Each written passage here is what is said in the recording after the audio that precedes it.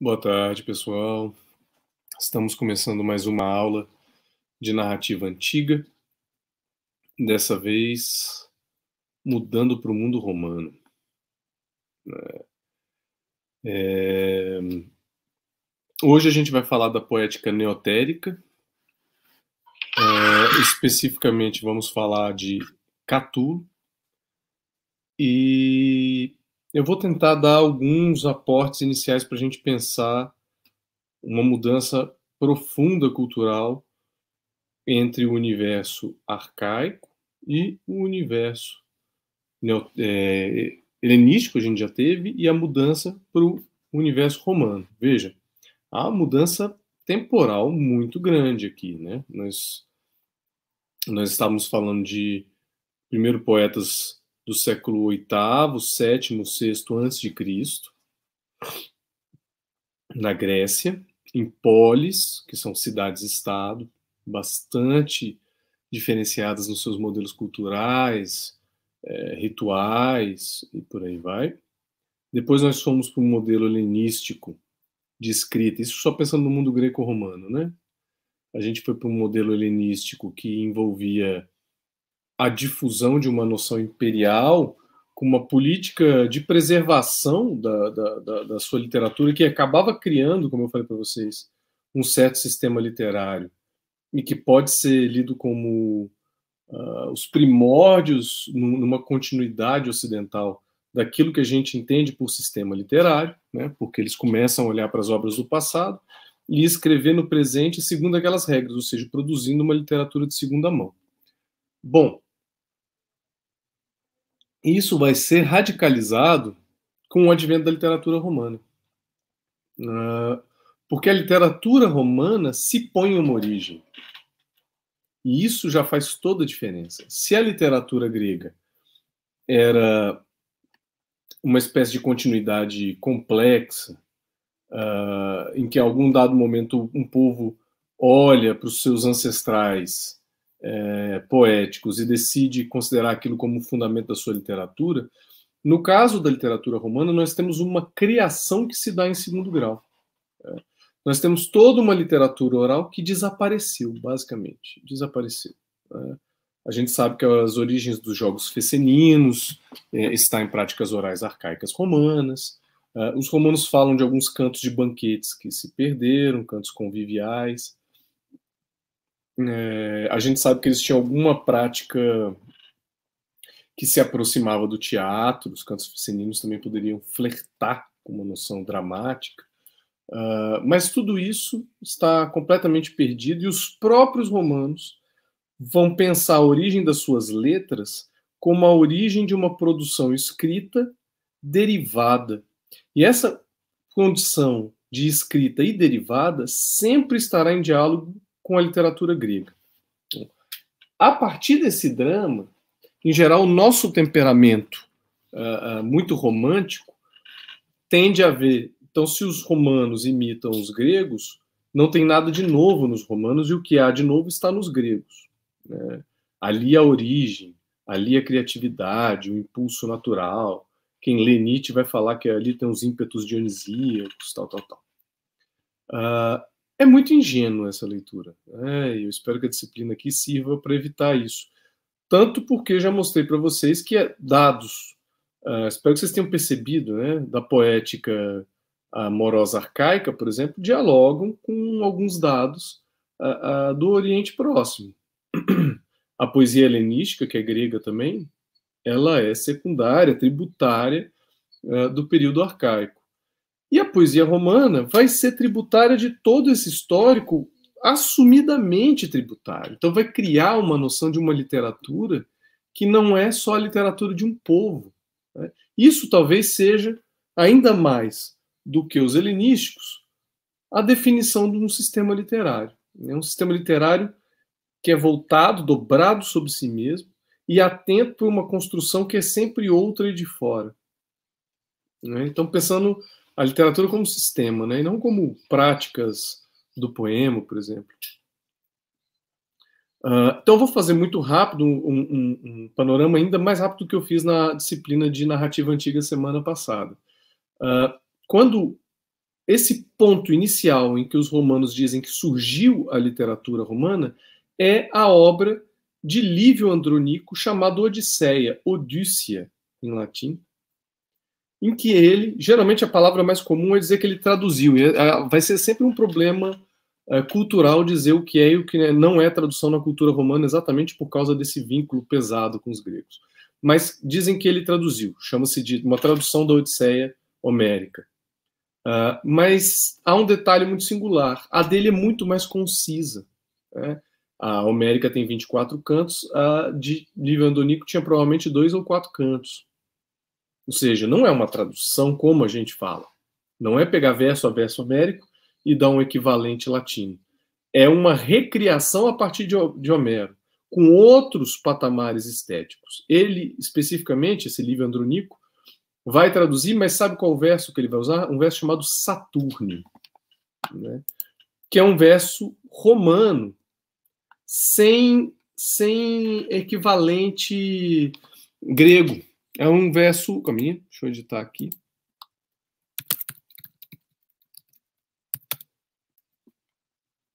Sem, sem equivalente grego. É um verso oral romano.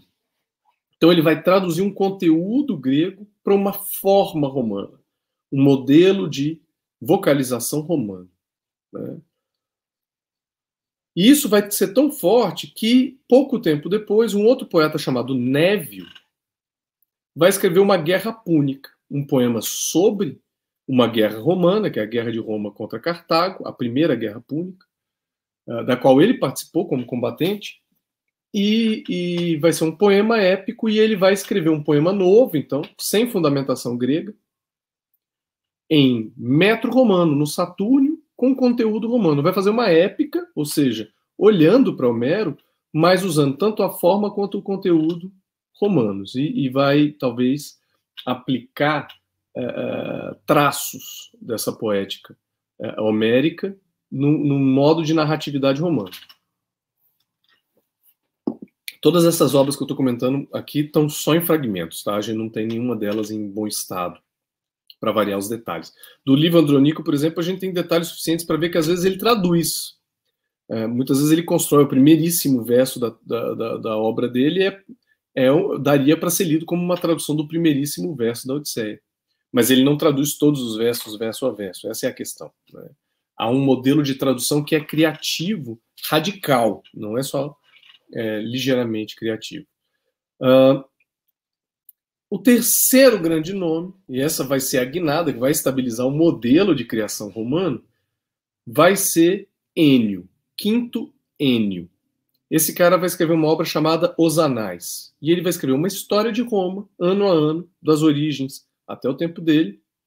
Ou seja, vai seguir o modelo do Névio, de que o assunto a ser tratado é romano, só que ele vai criar uma inovação em Roma. Ele vai usar o exâmetro datílico, esse que está escrito aí, que é o metro da épica homérica.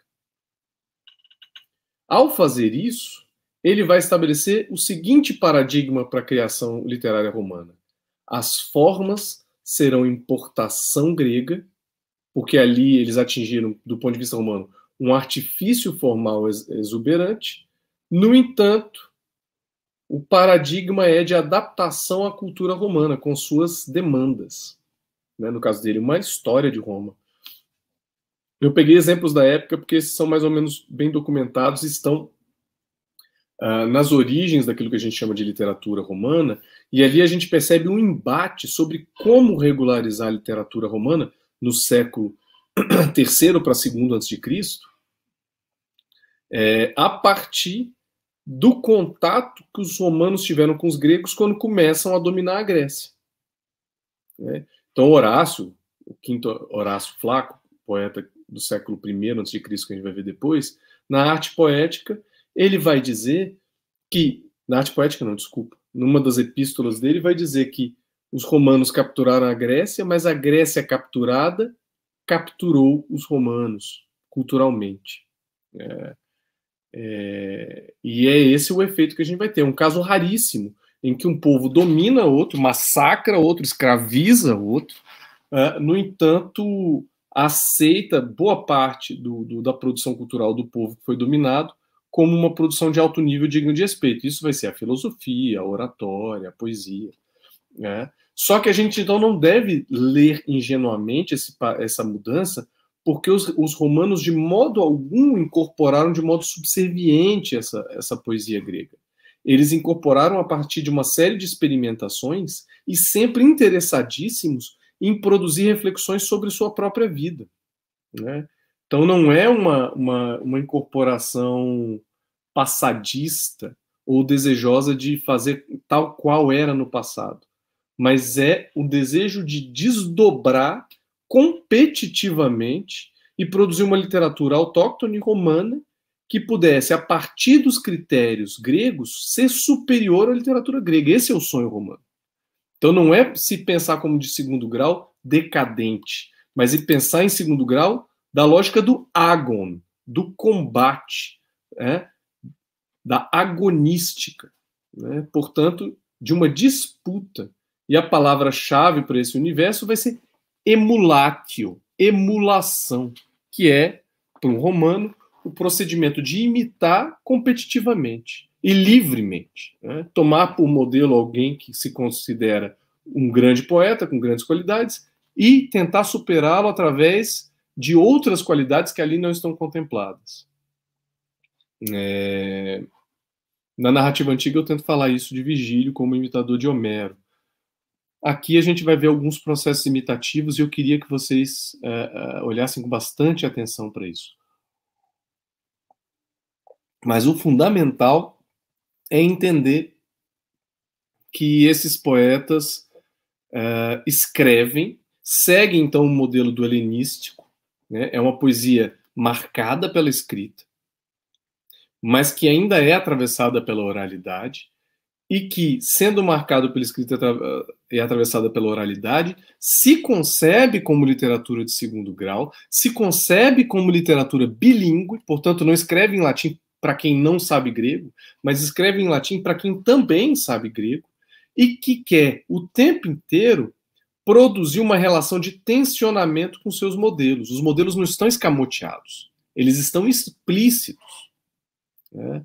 um, teórico italiano chamado Gian Biagio Conte, ele tem um livro que saiu em inglês, na verdade, é, que é Rhetoric of Imitation, né? a retórica da imitação. E ele trata a imitação não como um, um, um ato de subserviência, nem como um ato de mero dispositivo imitativo, né? mas como um jogo retórico que condiciona as expectativas de leitura. O que isso quer dizer? Isso quer dizer que imitar não é um caminho possível, dentre vários outros poéticos, mas é o caminho determinante para o reconhecimento de que uma obra é literária, no limite. Isso entre os romanos. Então quer dizer que imitar os gregos, a falta de criatividade, mas é o próprio código regulador para saber que aquilo é um poema. Eu diria, é mais ou menos equivalente a um certo período uh, da literatura moderna europeia de que fazer poesia era rimar. Né? Poesia portuguesa. Tem que ter rima. Essa era uma condição da poesia. Tem que ter metro. Era uma condição da poesia.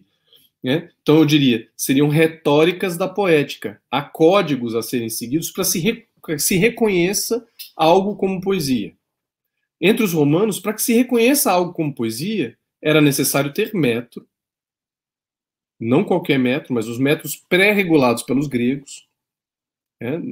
depois desse período de experimentação, e era necessário também que houvesse um jogo imitativo e emulador com modelos gregos, portanto, com referências explícitas, intertextualidades explícitas e não sutis necessariamente, há outras sutis também, para que se produzisse uma competição e esse hibridismo cultural entre o universo romano contemporâneo e o universo literário, agora já plenamente literário, como se concebia os gregos, faça emergir um objeto que é novo, dentro das regras do velho, mas plenamente novo. Isso pode parecer abstrato falando, mas eu acho que quando a gente chegar nos exemplos, a gente vai ver como as referências não estão ocultas, mas não é uma tradução. É, há uma manipulação do texto. E o que eu quero que vocês entendam é que essa manipulação uh, não é meramente um desvio para dizer que tem algo novo, mas é a explicitação da relação com o outro, em que o abismo das diferenças aparece como parte do intertexto. Portanto, como uma retórica. Todo texto tem um subtexto que está sendo tensionado sem parar, para ver o que acontece. Daí que eu estou falando. É, é fundamental ler os gregos, eles são fascinantes, mas daí concluir que os romanos não sejam fascinantes é só pode se dar a partir de uma leitura romântica do literário e uma literatura, uma leitura talvez excessivamente condicionada também pelas no, noções de vanguarda, de invenção, é, que, que não é e nunca foi o que condicionou o movimento romano de criação de poesia. Né? Então é ler errado. Né? Não tem outra palavra para dizer. É ler errado. É não entender o que está em jogo. Né? E, e, eu diria, para a gente conseguir ler direito o que está em jogo, a gente tem que ler muito devagar a poesia romana como a gente, como já sugeri, a poesia helenística também precisa ser lida muito devagar.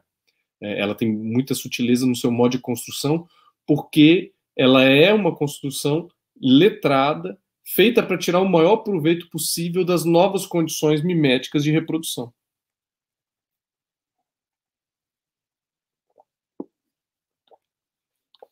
Então vamos ver aqui alguns exemplos. Ah, vou ver se eu compartilho a tela.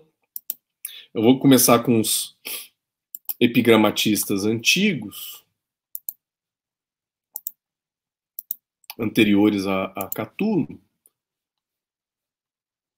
para depois a gente poder. É, claro que o negócio já está todo desandado ali, né? Então vamos, deixa eu achar a página aqui, depois a gente vê com calma como resolver isso.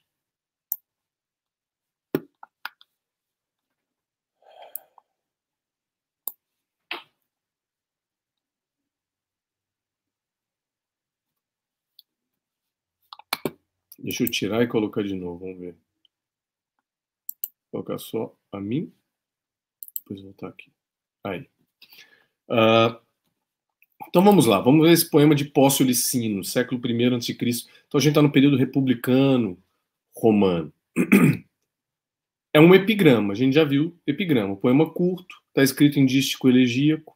Então são dois dísticos em que ele tenta explicitar muito concisamente um poema amoroso vocês vão ver que ele está mais ou menos na estética calimaquiana, que é a que vai imperar no modelo romano. Porque, como já nasce como literatura letrada, há, claro, uma fascinação com os poetas arcaicos gregos, mas essa fascinação vai ser sempre mediada pelo próprio desenvolvimento da literatura grega e sua codificação numa estética do livro, numa estética da escrita, que é atravessada pela oralidade. Então a gente tem aqui um epigrama que é claramente calimaquiano no seu gosto, mas que não tem um equivalente grego exato, pelo menos. Ó guardião das frágeis crias das ovelhas, queres fogo? Anda. Queres? Fogo é o homem. Se toca um dedo, logo acendo toda a selva. Tudo que vejo, todo gado é chama. Então é um poema amoroso e incendiário. A gente já viu a tópica do fogo lá em Calímaco, é, ela não é novidade. Em Safo descrevendo, ela sente um fogo correndo na pele. É, mas o poema é concentradíssimo é, e ele é ágil no seu movimento. Né? O guardião das frágeis crias das ovelhas é um, é um, um, um pastor. Né? Você quer fogo? Né? E aí, rapidamente, esse fogo vai se tornar em fogo amoroso, mas sem ser explicitado nunca. Anda, queres? Fogo é o homem. Se toca um dedo, veja, o poema é homerótico, inclusive. Logo acendo toda a selva. Né? Então, um dedo de toque amoroso incendeia a floresta. Tudo que vejo, o gado, vira chama. Né? Então, esse é um poema de promessa amorosa, né? tentando seduzir um pastor. Esse está sendo citado por Aulo Gélio nas Noites Áticas, em que ele cita alguns poemas homoeróticos romanos. Eu vou falar de homoerotismo romano em breve. Então vamos para mais um. Vou fazer aquela mesma coisa. Vou tirar, vou só para mim. Volto para cá. Agora vamos ler esse segundo aqui, do Quinto Lutácio Cátulo. O espírito me foge, como sempre, rumo a Teotimo, encontra seu refúgio. E se eu não proibir? E se ele não guardar em si meu fugitivo e o lançar longe? Eu vou buscá-lo, que apavora-me perdê-lo. Que faço? Vênus, dá-me algum conselho. Aposto que quem esteve presente na última aula ou quem leu é, epigramas de Calímaco para outra aula reconhece claramente qual é o modelo que está sendo citado aqui. Né? O poema de Calímaco, em que ele fala que metade da alma foi embora a, a, atrás de um jovenzinho. Né? O espírito, que é o sopro, né? lá era psique, também que é o alento respiratório que dá vida. O espírito me foge e agora vai para Teotimo. E lá ele busca refúgio. em Calímaco, a gente demora para saber. Ele se pergunta para onde foi o espírito.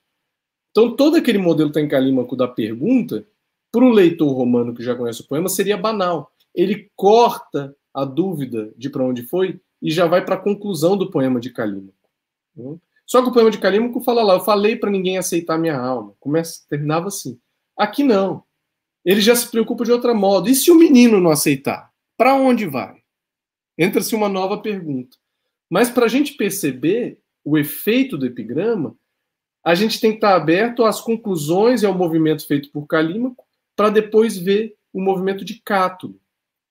Né? Se eu não proibir, se ele não guardar em si meu fugitivo e o lançar longe, quer dizer, meu espírito foi lá, minha respiração, minha força vital foi atrás de Teotimo. E se ele não guardar essa minha alma que ficou lá, o que acontece? Eu morro? Eu vou buscá-lo apavora-me perdê-lo. Quem? Teotimo ou o espírito? É o espírito, né? Mas o espírito está com quem se ama. O que que eu faço? E o poema se termina numa aporia, uma aporia complexa, porque o poema também é uma brincadeira, quer dizer, eu vou atrás do meu espírito que está com o Teotimo, quer dizer, eu vou atrás do Teotimo, quero ter uma noite com o Teotimo. E aí ele pergunta, pede conselhos para quem? Para Vênus, a própria deusa da sedução e do sexo. Né? Ele quer conselho com a deusa do sexo. O que, que ela vai aconselhar? O que, que vocês acham? Fica em casa? Joga baralho? Ela vai falar, vai lá e faça o que o seu desejo manda. Então, essa é a construção do poema. Ela está tensionada com o original grego, mas não tem nada de subserviência. Ela desdobra exatamente para onde o original grego não vai. Ela quer nos dizer algo que o original grego não disse mas que potencialmente anuncia. Então ela desdobra criticamente, com um olhar certeiro, esse poema outro. Nem toda poesia romana tem que ter um um original grego, mas ela quase sempre vai trabalhar em cima da noção de lugar comum. Podia estar com o livro fácil aqui, mas ele não está aqui. Um livro muito bonito do Francisco Asca, né, professor aposentado da USP, chamado Lírica e Lugar Comum, que é basicamente para estudar isso sobretudo na poesia de Horácio. Uh, então, lírica e lugar comum. Aqui a gente tem um exemplo maravilhoso. Né? Manipulação do lugar comum do amor como um deslocamento da alma, uma doença, e isso se desdobra para um outro lugar. Então, o lugar comum foi manipulado. A gente pode pensar, então, que a poesia romana é uma poesia que busca os lugares comuns e tenta manipular o lugar comum para produzir uma pequena novidade. Então, o objetivo não é chutar a porta e, e fazer algo, fingir que você inventou alguma coisa, a, a roda semana passada.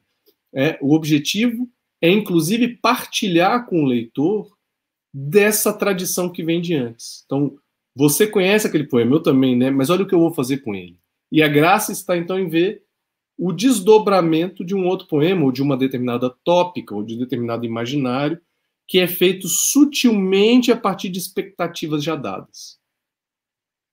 Aqui acho que é um poema exemplar para a gente ver ainda antes dos neotéricos é, como isso funciona. Vou só ler rapidinho esse outro aqui sem comentar, só porque é muito bonito, já que é, hoje é dia da, do orgulho LGBTQI+, né? Uh, vamos ler mais um poema homerótico bonito. Eu levantei saudando a aurora que surgia, mas súbito surgia Rócio, a leste. Peço perdão por vos estar, deuses celestes. Mortal era mais belo do que um deus. É.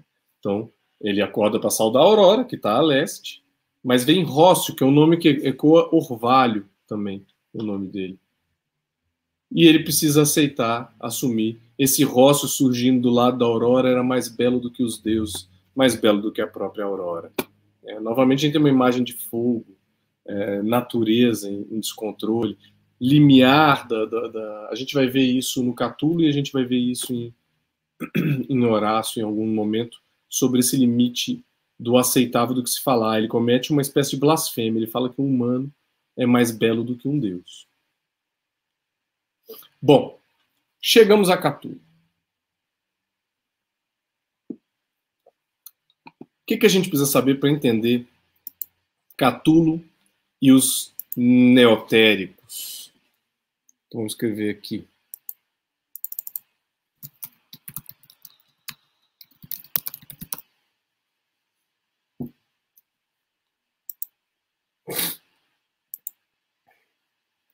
Opa, tá, tá escrito errado.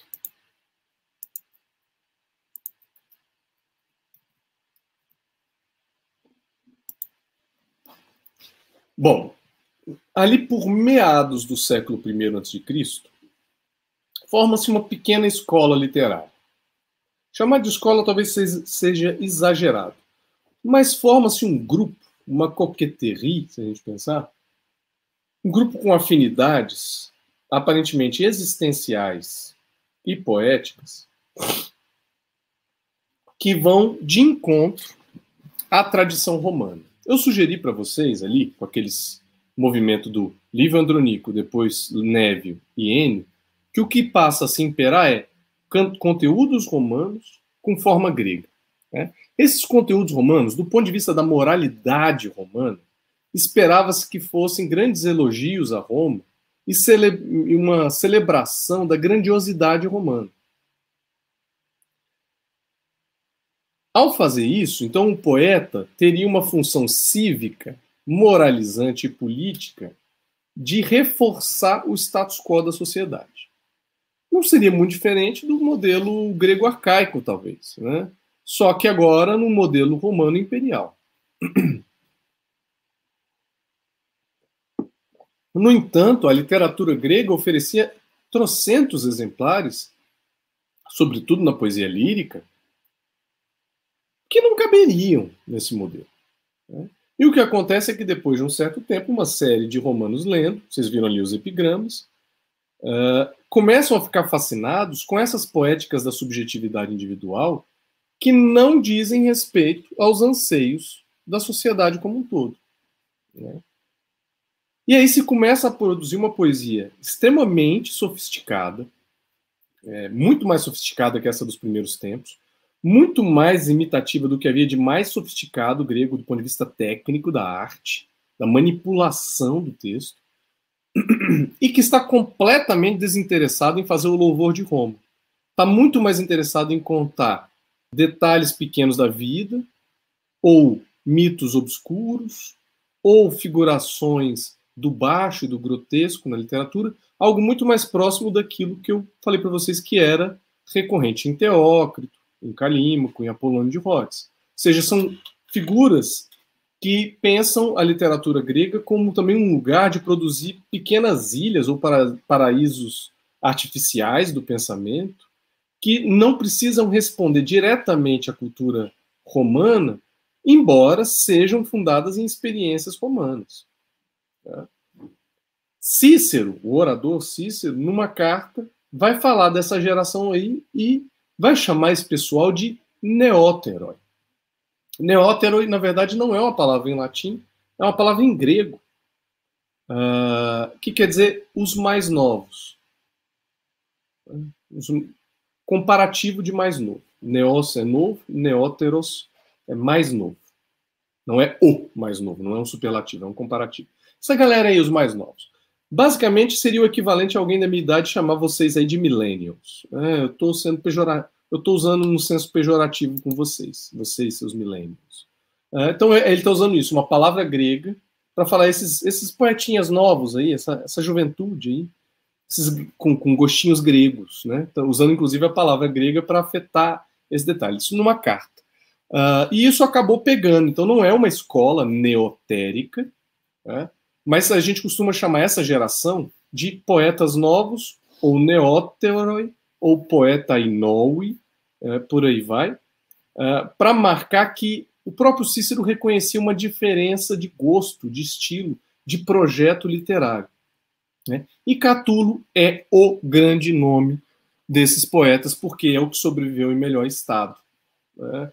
Uh, a gente tem uma tradução que está um tempo esgotado, mas uh, eu sei que em breve sairá a nova edição revisada, que é desse aqui, ó, o livro de Catulo, tradução de João Ângelo Oliva Neto, que é professor da USP, foi meu orientador de doutorado. Né? Tem uma introdução muito boa esse, essa edição aqui, não sei como é que vai ficar a nova introdução, e bastante nota. Né? Além de uma tradução poética que é, eu tenho várias traduções de Catulo esparsas, mas as que eu estou usando na disciplina são é, do João Ângelo Oliva Neto. É, Aqueles outros, os poetas epigramáticos mais antigos estão tirados daqui, porque Calar Nossos Amores, poesia homerótica latina, é, da qual eu faço parte, né? São quatro organizadores, Raimundo Carvalho, eu mesmo, Márcio Meirelles Gouveia Júnior, que nesse momento, acho que está fazendo pós-doutorado na FMG, eu não tenho certeza se já começou, e João Ângelo Oliva Neto, que é professor da USP, tem conta também com traduções do Leandro Dorval Cardoso e do João Paulo Matede, é, aqui no, nesse projeto. Uh, mas Catulo é o principal nome, e é o que chegou em melhor estado para a gente. Então nós vamos ler aqui agora alguns poemas. Uh, eu vou tentar levantar alguns dos principais aspectos da poética de Catulo, uh, tentar levantar alguns problemas. O primeiro que eu quero marcar para vocês, pegando ali o mote do homoerotismo, é algo que está na minha introdução a esse livro, Por que Calar Nossos Amores, em que eu tento explicar que a pederastia, que era uma instituição ateniense, é, a pederastia era, resumidamente, como eu falei é, em outra aula, a prática em que um homem mais velho tem uma relação com um rapaz muito jovem, imberbe ainda, e é uma relação que mistura tutela, educação e sexualidade. Né? Então, esse homem fica responsável pelo mais novo, cuida dele, né? e ao mesmo tempo dá um conhecimento, mas eles podem ter, por um período em que esse rapaz ainda não é barbado, uma relação que é homoerótica e que envolve sexualidade para os atenienses, sempre com a ideia de que o mais velho é um ativo, o erastes, aquele que ama, enquanto o menino é um passivo, o erômenos, aquele que é amado. Então, é um participio passivo, erômenos. Uh, então, aí um desequilíbrio. O adulto é senhor de si e senhor do outro, enquanto a criança, que ainda não atingiu a sua maturidade e, portanto, não precisa responder pelos deveres da masculinidade uh, uh, de um universo patriarcal, pode ser submisso. Mas os atenienses não aceitavam, por exemplo, dois homens adultos que se amassem e quisessem se casar ou coisa do tipo. Né? Então, os atenienses nunca aceitaram a homoafetividade ponto de qualquer modo. Havia regras que organizavam o período para que isso fosse socialmente aceitável. Os romanos nunca tiveram uma instituição equivalente à pederastia. Um menino romano, ele já era, já tinha o seu corpo protegido por lei, de modo que um sexo com um menino romano era crime. Né? Não, teve, não, não, não é como pedofilia na nossa cultura, mas era um crime. Esse crime tem um nome técnico de estuprum, que eu comentei na aula sobre arquíloco. É um crime sexual com um menino. Portanto, ele, ele era intocável, assim como as meninas. Né?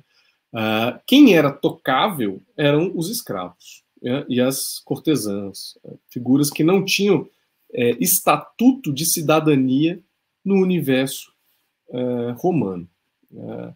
Então, o sexo com escravos era aceitável, por exemplo. Então, um dono de escravos poderia fazer sexo com seus escravos homens ou mulheres, pequenos, jovens, adultos, porque essas figuras vilmente eram tratadas como não detentoras de qualquer é, é, repertório de dignidade do cidadão livre. Né?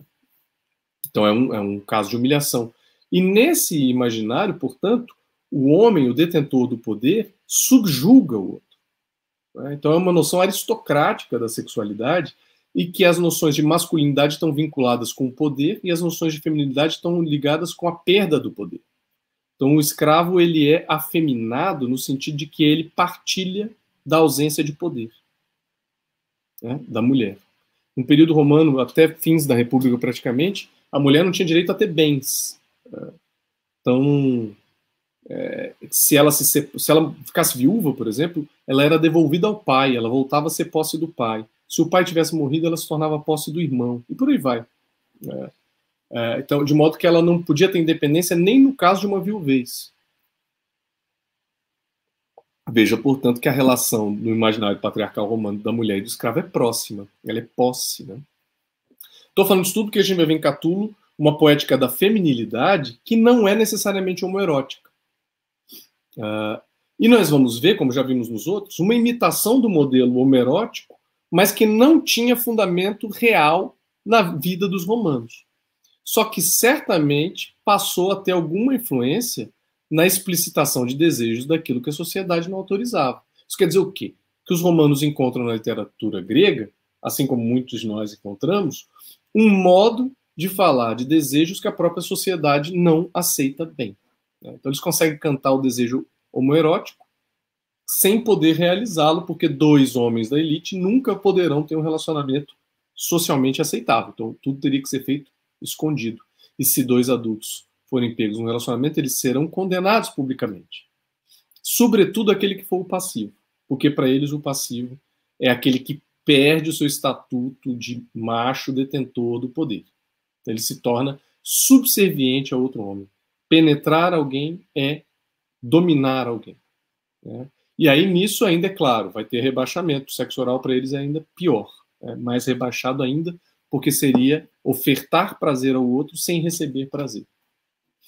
Então, um homem, por exemplo, fazer sexo oral numa mulher, para eles é uma ação feminina. Porque é um homem saindo da sua posição de poder e tomador do gozo para alguém que oferece o gozo ao outro. É. Então é, uma, é um código em que a sexualidade está atravessada de uma noção de poder. Eu não diria que a nossa sociedade está desprovida disso, mas são outros códigos, né? Pode até flertar com essas ideias uh, romanas, mas não é uma manutenção plena. Uh, mas é importante pensar isso. Então, o que eu quero dizer com isso não quer dizer que então, era só assim que se tinha relacionamentos. O que eu estou falando para vocês é mais ou menos quais são os códigos da fala pública, da ação pública. Óbvio que na vida real as pessoas sempre fizeram mil coisas, como sempre fizeram mil coisas. Né? O que eu estou falando é quais são os comportamentos socialmente aprovados ou não. Né? Então, tanto na Grécia haveria dois adultos que poderiam se desejar e se concretizar, quanto em Roma. O problema é o que você pode falar publicamente, assumir publicamente, e o que você não pode falar e assumir publicamente. É o que está me interessando aqui, e pensar que a literatura grega e seu código homerótico entram na literatura romana, vai ter muito menos poesia homerótica romana do que tem grega, por exemplo, porque não há fundamento histórico para isso, mas passa a invadir porque invade o imaginário. E o imaginário constrói realidades. Né? Ele não é algo desinteressado do mundo, desvinculado do mundo. Tá, então vamos começar a ler aqui alguns poemas. Os primeiros vão ser para a gente discutir a poética calimaquiana ali em Catulo, quais são os paradigmas de poesia. Uh, e depois a gente vai ver alguns que vão envolver questões culturais mais complexas. Vamos ver aqui, então. Vamos começar o primeiríssimo poema do que é o livro de Catulo. O livro de Catulo é uma organização muito provavelmente póstuma. Então não dá para saber se ele projetava um livro assim. Uh, eu não vou ter tempo de comentar com calma, mas a primeira parte é polimétrica, tem poemas de vários metros. E a segunda parte é só em dístico elegíaco. Uh, sendo que a parte do meio é metade polimétrica e metade em dístico elegíaco, uh, mas ela é feita de poemas longos. Então, Há quem divida o livro de Catulo em três livros: poemas breves polimétricos, poemas longos e depois epigramas. E há quem divida em duas partes: uma polimétrica e outra monométrica, é, é, de disco elegíaco. Eu não vou entrar nisso, que deveria, isso levaria a uma tentativa de análise do livro de Catulo, o que é um super problema, porque não há nem como garantir que ele projetou isso. O que é curioso é que o livro funciona como livro. Uh, seja lá quem organizou, o próprio Catulo, um editor póstumo, pensou na disposição dos poemas para funcionar. Então, o primeiro funciona como abertura. A quem dedico esta graça de livro, novinho em folhas recém-buriladas? A ti, Cornélio, pois tu costumavas ver uma coisa qualquer nestas nugas. Já desde o tempo em que ousaste, primeiro na Itália inteira, explicar toda a história, em três volumes muito sábios por Júpiter, muito difíceis. Contigo, então, leve, leve este que o que for de livrinho, que viva, ó Deus a Virgem, mais de um século. Então vamos lá. Né? O poema é uma abertura. Para quem eu vou dedicar? Então os livros geralmente são dedicados a alguém. A quem eu vou dedicar esse livrinho? É? E repare, o livro é novo, com folhas buriladas. Ele pega a metáfora da pedra pomes, porque era usada para lixar os livros no final e deixá-los macios, sem asperezas do papiro. Então esse livro, o próprio livro é aparado até ficar liso, tal como a poética. Então tem o primeiro traço, a poética de burilar. Né? A palavra burilado na tradução é bem, bem escolhida. A Cornélio Nepos foi um historiador. Porque você costumava ver alguma coisa nestas nugas. Outro aspecto, então, importante. Ele considera que o livro é de nugas, bobagens, bagatelas, assuntos sem importância, ou seja, contrários a uma poética elevada, grandiosa, patriótica, romana. E você via isso desde que você usou o primeiro, o primeiro na Itália, segundo detalhe importante, alguém que é inovador, você foi o primeiro na Itália, Cornélio Nepos, a explicar toda a história, é um historiador ambicioso, em três volumes, muito sábios por Júpiter, muito difíceis. Veja, três volumes não é o equivalente da nossa cultura de um cara produzir um livro de três calhamaços de 1.500 páginas. Um volume, num, num livro romano, dá mais ou menos 30, 40 páginas no máximo na nossa cultura. Então esse cara escreveu uma história do mundo em três volumes, algo em torno de 120 páginas, 150 se vocês quiserem exagerar. Ou seja, é um escritor conciso. Isso está sendo louvado em Cornélio Nepos. Com mais duas palavras-chave: sábios, que são cultos, eruditos. Sábio não no sentido de sabedoria grandiosa, mas de conhecimento técnico, e difíceis, elaborados, complexos. Né? Então, veja com as suas palavras, então. Burilado, então, trabalho técnico. Nuga, ou seja, desimportância da cultura grandiosa, patriótica. Erudito, ou seja, um livro de quem trabalha em cima de livros. E complexo. Né? Complexo não quer dizer de difícil entendimento imediato né? como a gente vai ver em outros aqui. Contigo, então, leve, leve este que o que for de livrinho. Veja, o livro é um livrinho. É, é afetivo, o diminutivo, mas é também a descrição de uma poética menor, calimaquiana, como a gente viu. Então, muito trabalho literário, prezando qualidade em pouca quantidade. Né? Que viva, ó Deus, a Virgem, mais de um século. Muito provavelmente Minerva vinculada aqui à, produção literária, ao saber e ao trabalho artesanal. Que viva mais de um século, um século é uma geração, tá? não, não é 100 anos redondos.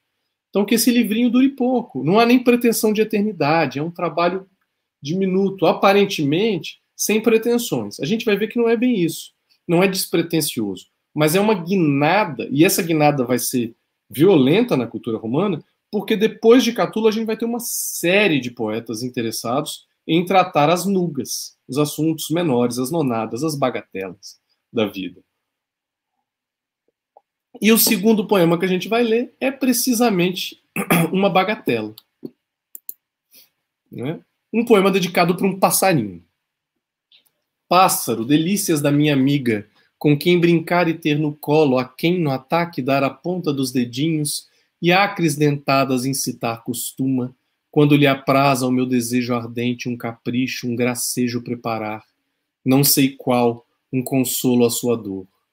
Creio para acalmar o ardor assim, ah, poder eu também brincar contigo e tristes aflições tirar do peito. É tão bom para mim quanto a menina veloz se diz que foi a maçã de ouro que o cinto atado há muito enfim soltou. Vamos lá. Foi uma celebração de um passarinho. A gente vai ver ali em Marcial, Marcial sugere para gente que desde a antiguidade todo mundo sabia que o passarinho era um pinto. É, é um poema peniano. Qual é o passarinho com qual a amada dele brinca? É um falo. Né? Uma possibilidade de leitura, então alegórico. Então, ou é um passarinho, um bibelozinho, um brinquedinho dela. É um passarinho de verdade, um pardalzinho. Ele é uma delícia, é uma palavra para descrever o favorito, o xodozinho, poderia ser uma, uma tradução para delíquia, que ela gosta de brincar e ter no colo, ela põe um dedinho para ele morder, é, quando veja que tem palavra de desejo ardente, o capricho, um gracejo, né? E serve como um consolo à dor. Pode ser a própria poesia também. Né? É uma brincadeira, um jogo que consola das dores. Mas aqui a gente está no passarinho. Para acalmar um ardor, né? Ai, poder eu também brincar contigo e tristes aflições tirar do peito. Quem me dera, então, eu ser. Tem o Fagner com quem dera eu ser um peixe, para em teu límpido aquário mergulhar, em Catulo a gente tem quem dera eu ser um passarinho para brincar no teu colo e morder os teus dedinhos. Né? E tirar eu, sendo um passarinho, as aflições do peito. Né? Ou tirar eu as aflições do teu peito. Né? E aí vem uma comparação estranha que muitos comentadores acharam que era um outro poema. Porque a, guinada temática é brutal.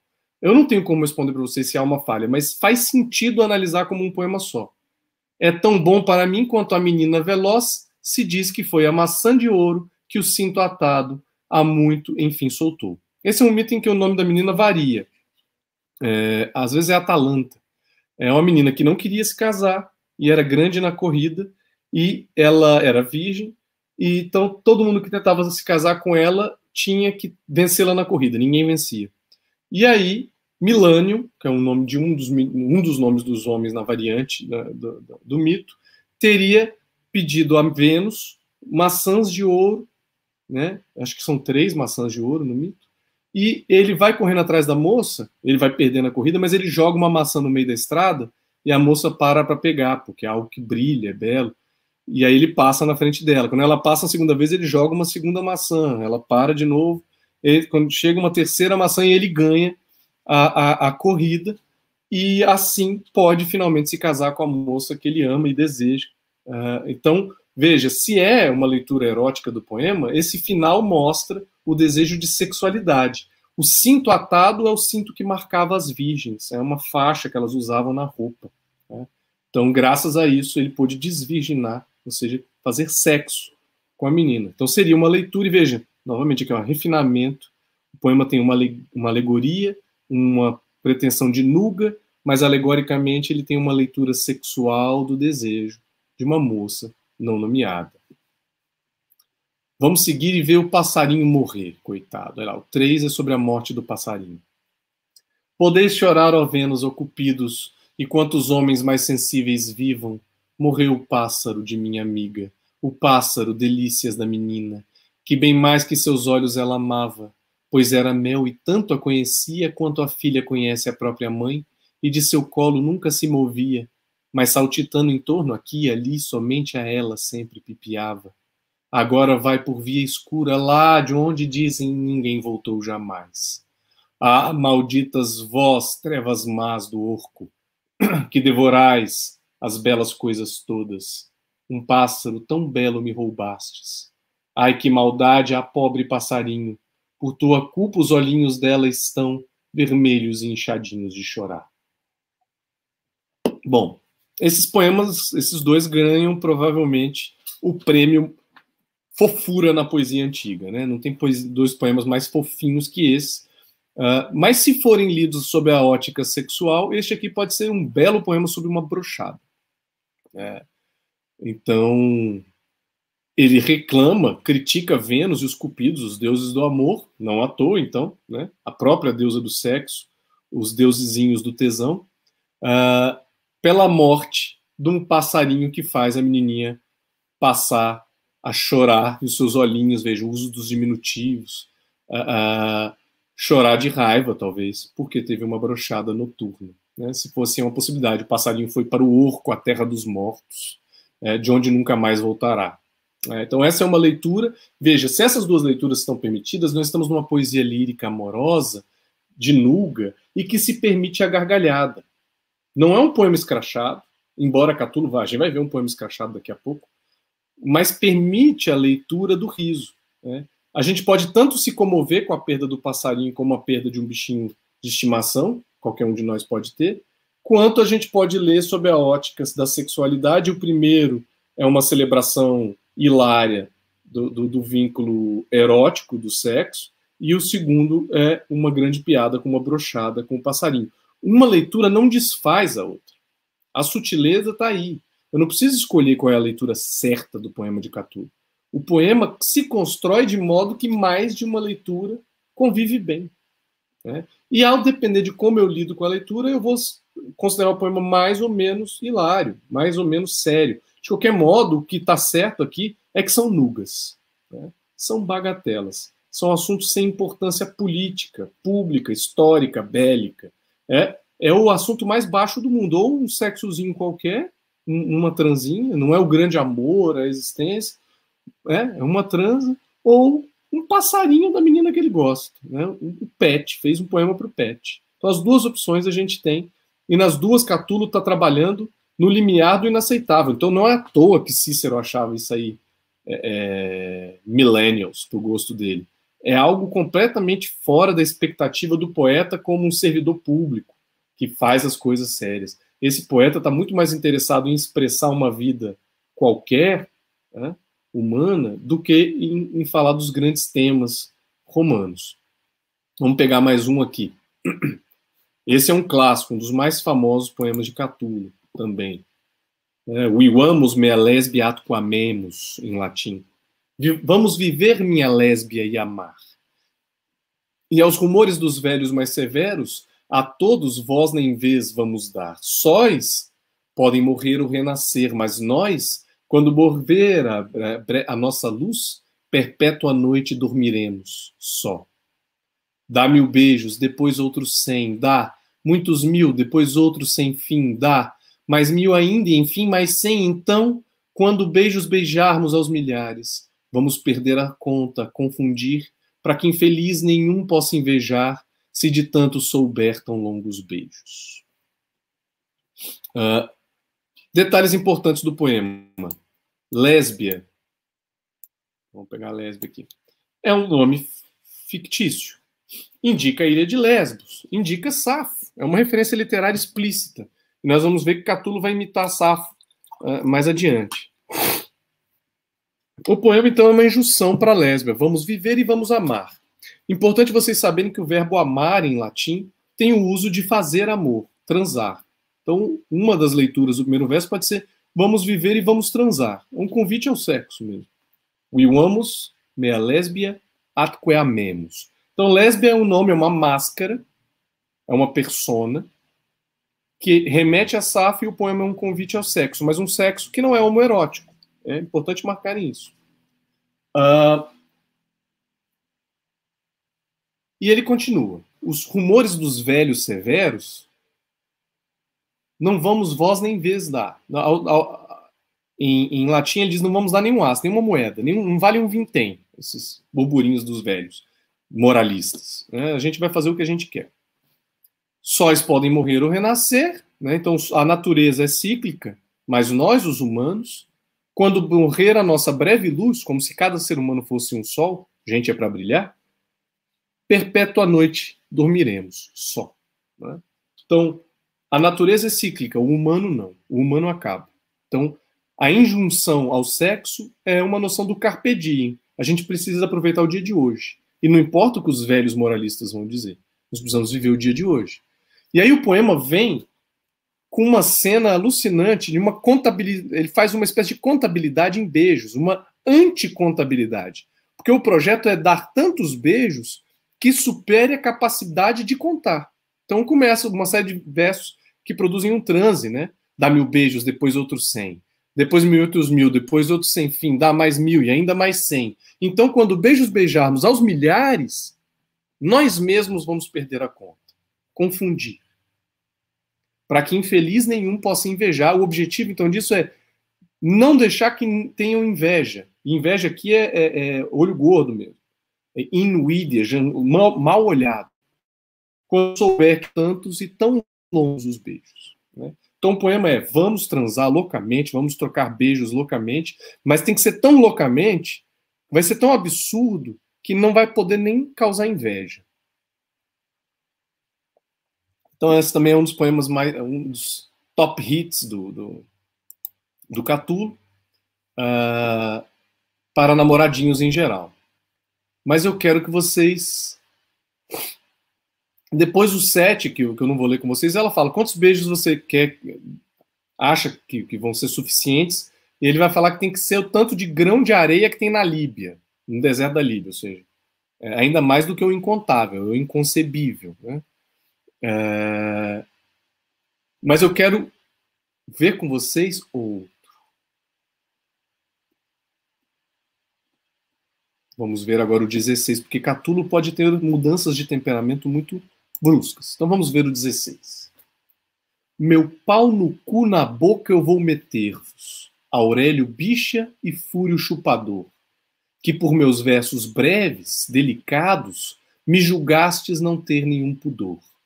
A um poeta pio convém ser casto, ele mesmo, a seus versos não há lei.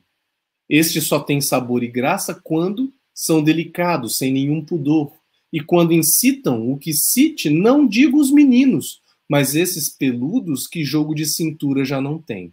E vós, que muitos beijos aos milhares já lestes, me julgais não serviriu?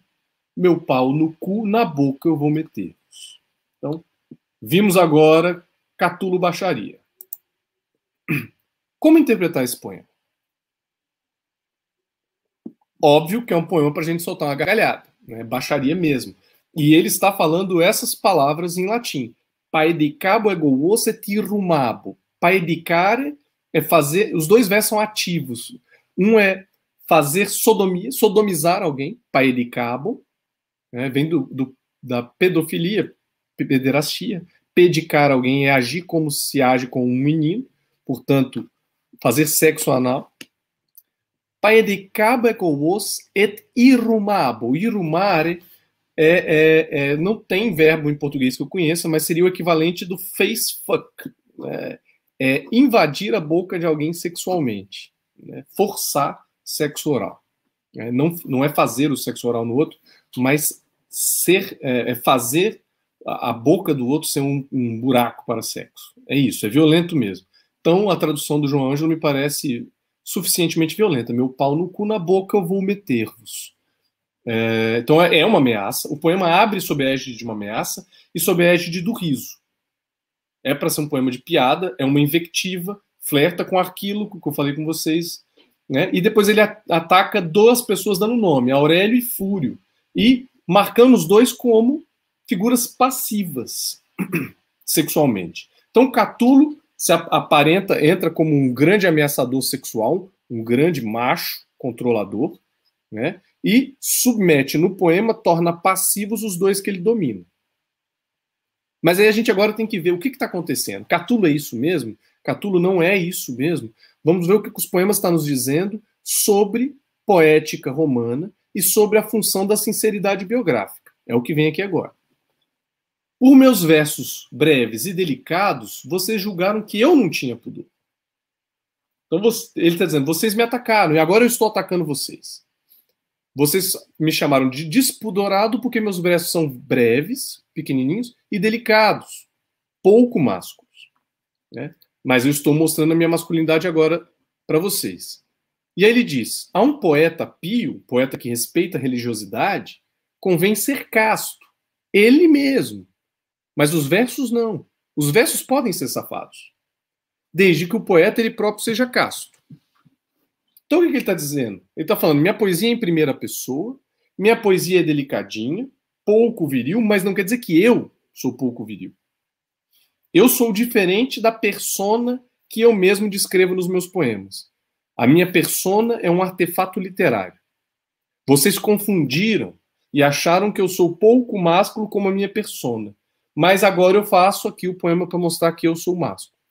Segurem aí. Tem ainda um, um twist carpado na ironia aqui.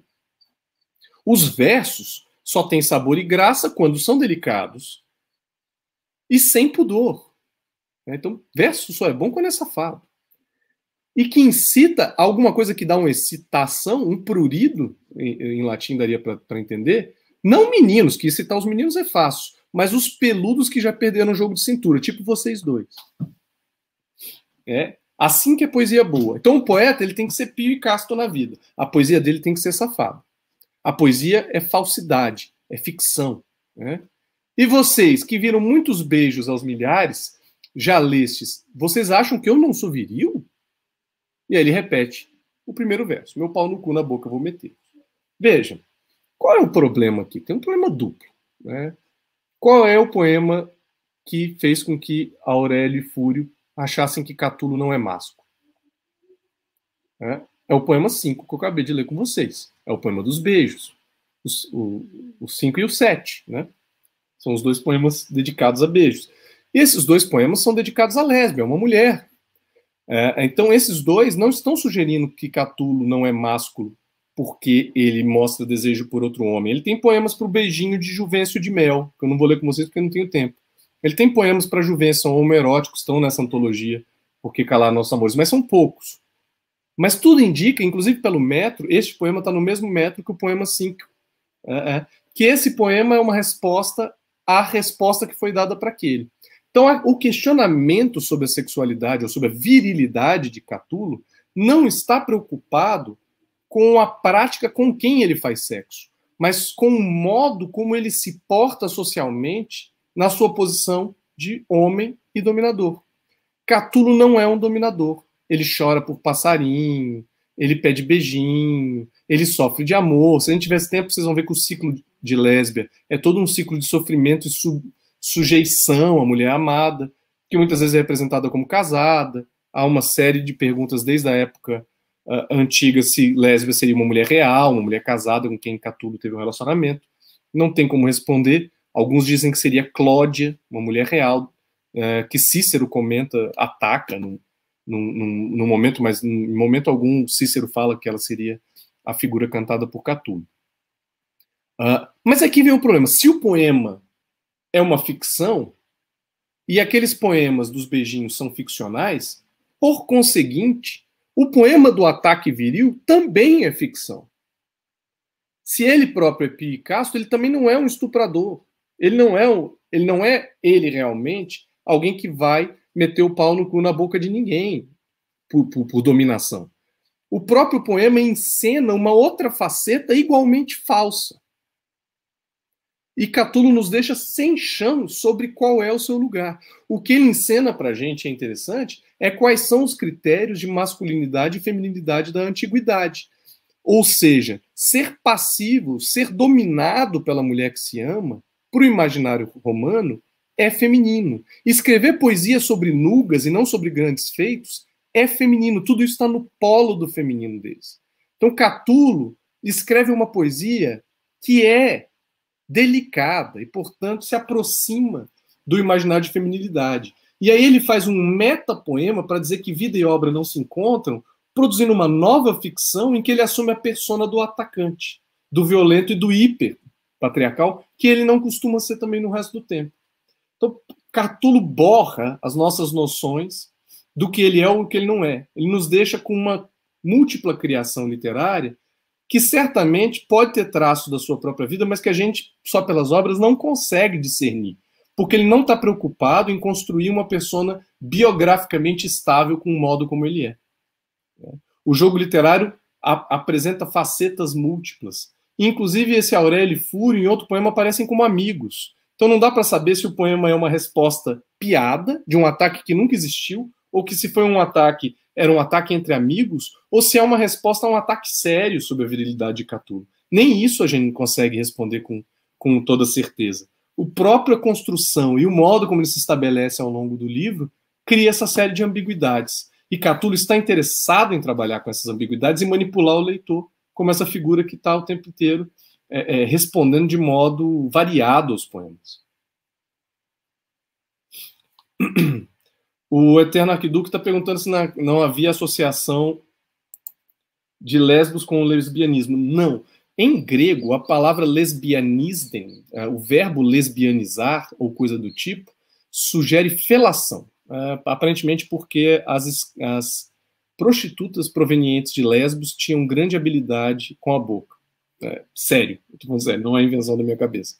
Uh, e não há nenhuma uh, ideia de que Lesbos, por causa de Safo, seria um lugar de mais uh, amor entre mulheres. Essa é uma a leitura do lesbianismo, ela é moderna, usar lesbianismo para isso. Tá? Então a referência à lésbia é uma referência a Safo, não a, a, a homoerotismo em si. Embora, claro, a referência a Safo vai estabilizar um pouco as posições sociais, né, do masculino e do feminino. A gente vai ver isso em mais um poema. O 51, que é uma pérola, uma pérola. É genial. Vamos então ler o 51.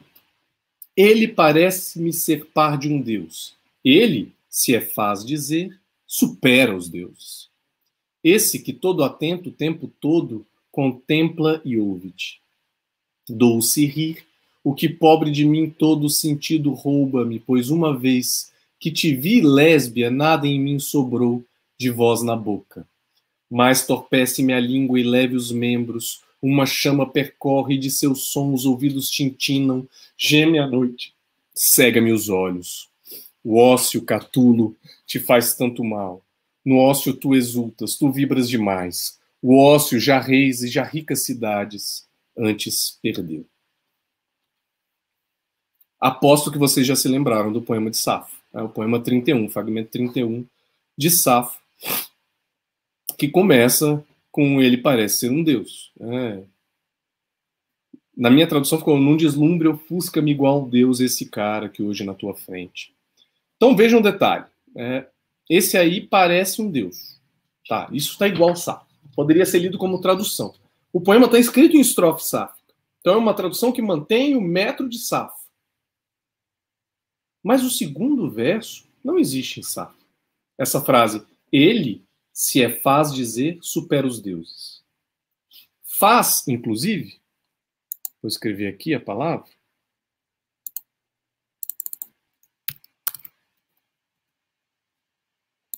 Faz é um conceito de aquilo que é falável, aquilo que é permitido segundo a lei divina. Isso é o faz.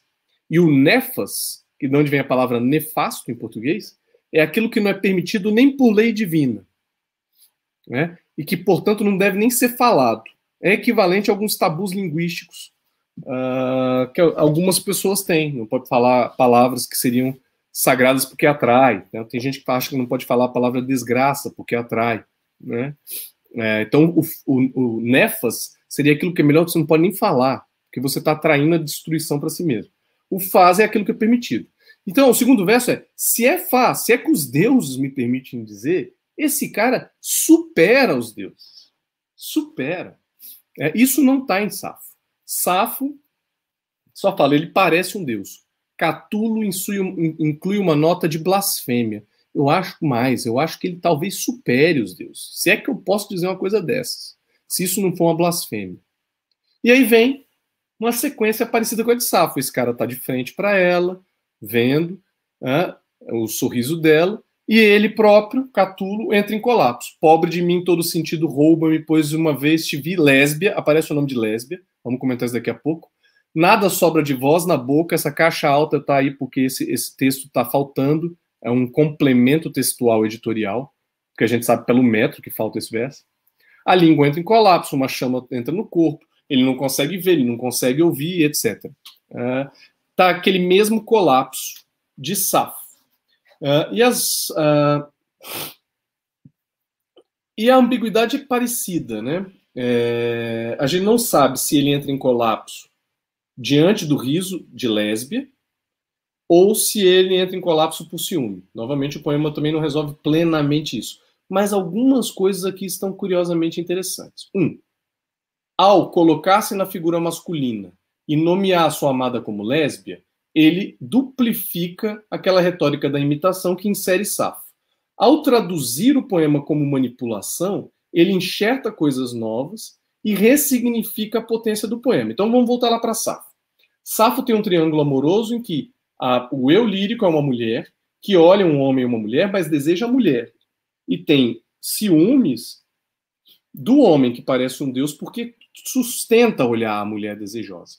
Eu falei que aquilo pode ser um epitalame, um poema de casamento, né?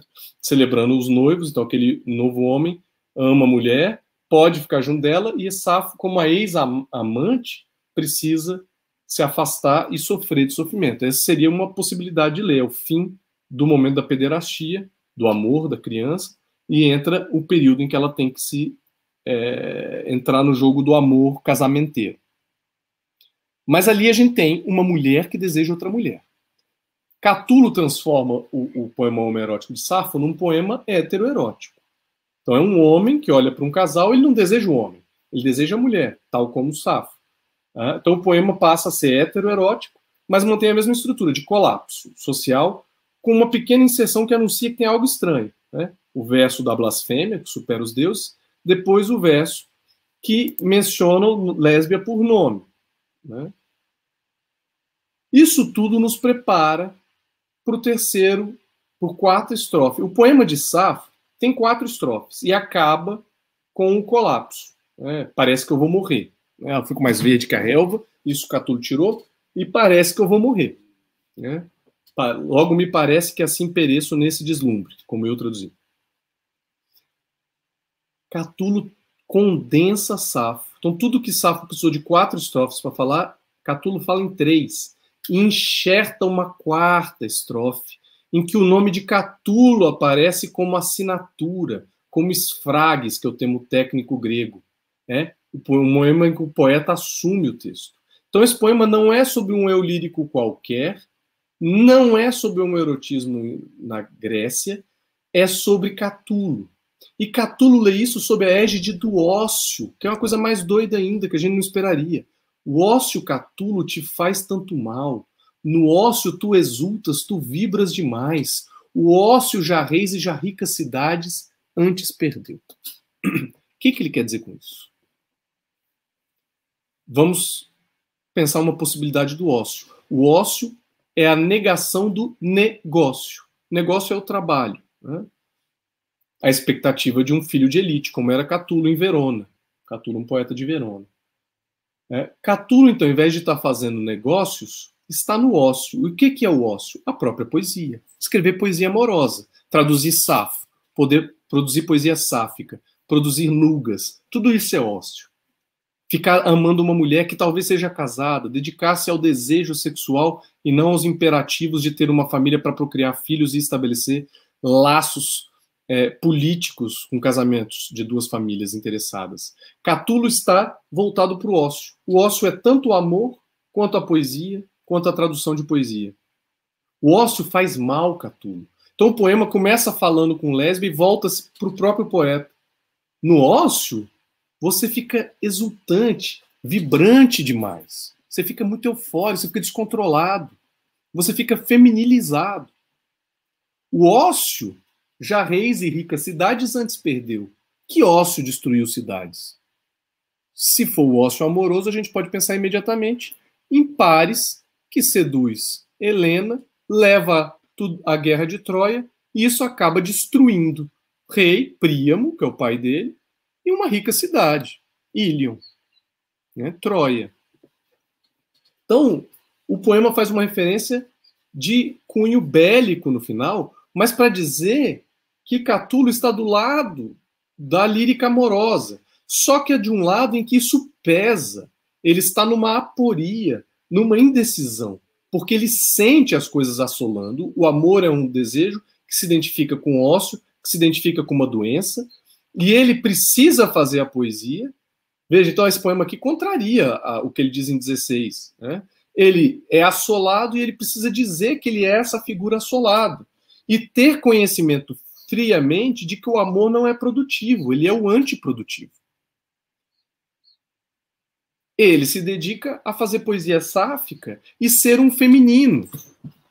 Olha que curioso. Se Safo, por seu homerotismo, às vezes aparece como uma figura masculinizada, né, por ser poeta, compositora, uma figura dominadora simbolicamente, né, não só pelo homerotismo, pelo desejo de mulheres, Catulo se representa como um feminilizado dedicado ao ócio e à poesia. Tudo isso sai do campo da masculinidade. Então a masculinidade em Catulo está em xeque, está no limiar.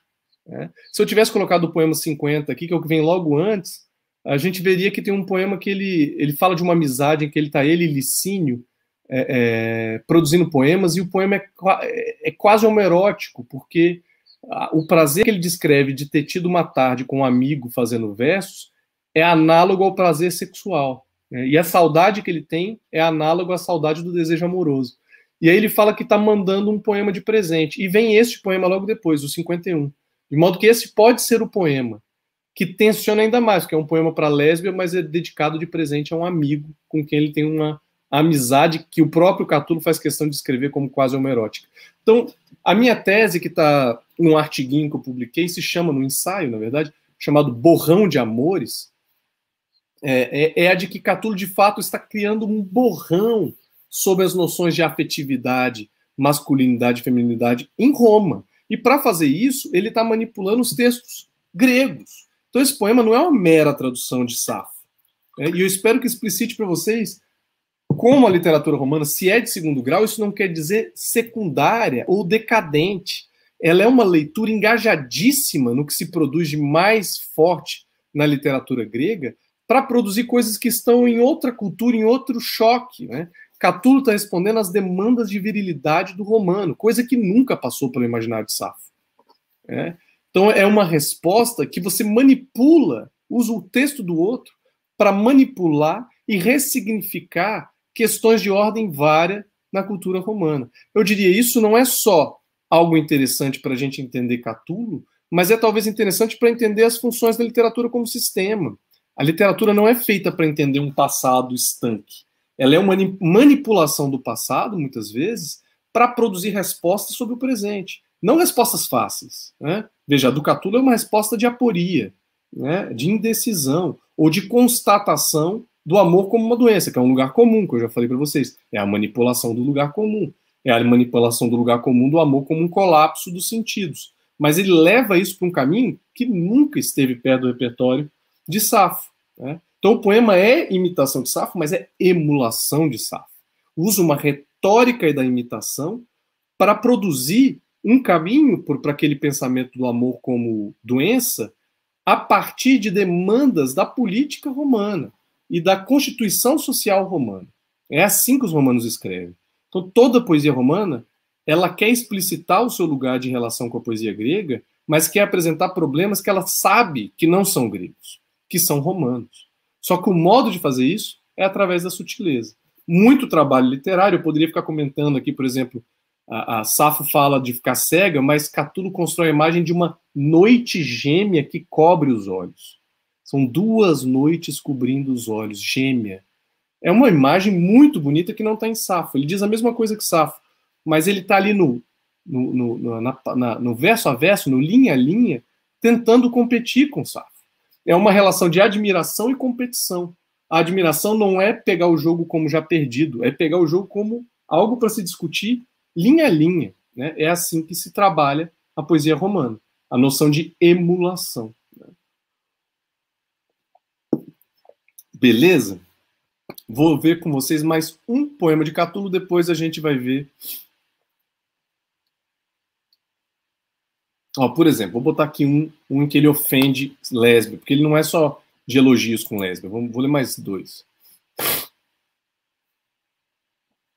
Sério, nossa lésbia, aquela tal lésbia, lésbia, aquela única que Catulo amou mais que a si a todos os seus, agora nos becos e encruzilhadas descasca os filhos de Remo magnânimo. É? Então veja, tem toda uma repetição da palavra lésbia, lésbia, aquela lésbia, a lésbia que Catulo amou uma mais que a Cia, que é os seus, que é a sua própria família, quer dizer, um amor desmesurado mesmo, que os romanos consideravam como algo doentio. O casamento, como eu já falei para vocês, não era baseado em vínculos afetivos. Essa lésbia está descascando os filhos de Remo Magnânimo nos becos e nas encruzilhadas.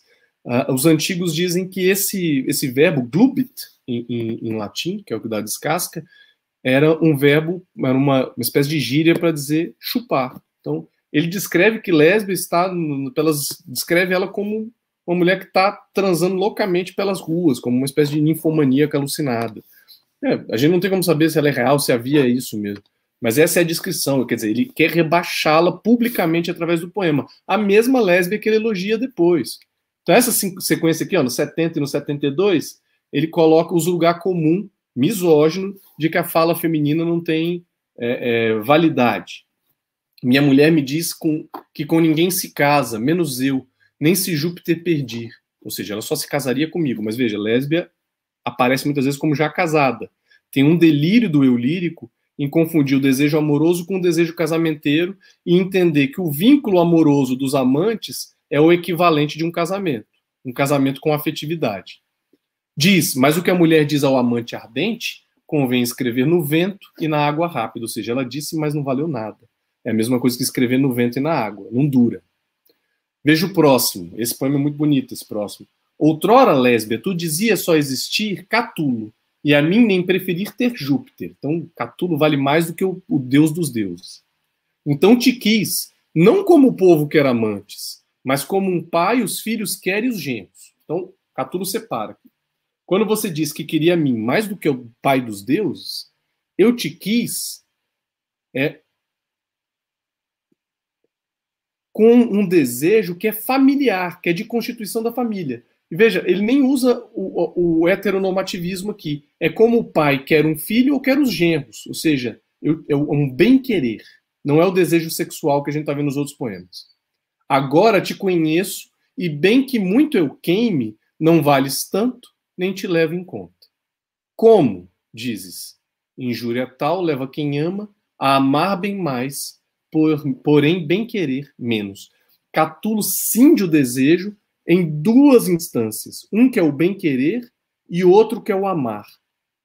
O amar é dessa ordem da doença, da paixão, do, do, do arrebatamento dos sentidos. O bem-querer é essa estrutura familiar de uma família regulada romana.